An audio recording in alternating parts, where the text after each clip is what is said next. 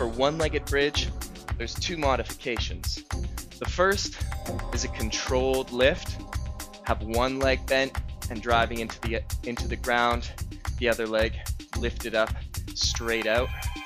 Drive in up onto your shoulders, squeeze your glute at the top and lower down controlled. Here again, we're maintaining that anterior tilt of your pelvis and an engagement of the lower abdominals.